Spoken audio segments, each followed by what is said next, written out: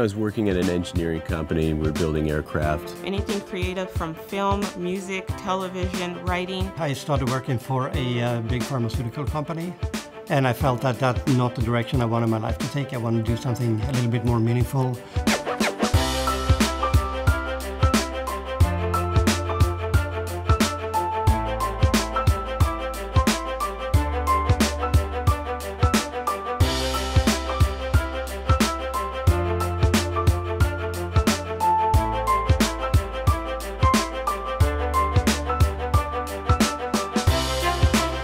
This is a hot field, right? I think there's a lot of potential, especially for people that have that scientific background. There's a lot of money to be made for a lot of people. Uh, the whole field of IP law is, is constantly evolving. You'll end up seeing a lot of technologies that consumer hasn't seen yet, even the government hasn't seen yet. You can really tailor your future career while in law school. Obviously, very strong IP program here, very strong uh, clinical program for those who wants to go into litigation. The people they select to be the professors are just all around great people. The professors here are extremely knowledgeable, have so many contacts. But it's not just the law. They actually teach you how to think, how to approach difficult subjects objectively.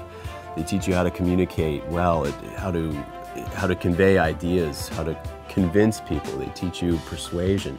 If you wanted to go out, you wanted to do like an externship like what I did, if you want to go and work for a judge. I was part of the Moot Court um, Honor Society. I was president of the Intellectual Property Association and the Entertainment Law Association. The uh, moot court and, and mock trial teams, they, they were really raking it in, in big competitions. It built my confidence tremendously. I'm extremely comfortable in a courtroom. I was um, basically prosecuting patents in front of the PTO without being an attorney. Not only was I able to pass the bar on the first try, um, I also was able to focus on the particular area that I loved in a beautiful city.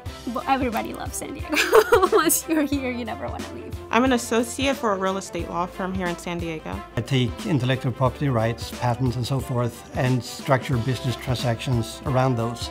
I'm an intellectual property attorney focusing on life sciences. If you have a STEM background, look into law school, consider going to law school, not just to become a lawyer, but to learn how to become an effective communicator, to learn how to become persuasive because you can grow in your own field. If you want to stay in STEM, you can grow in that field with the tools that, that the law school gives you.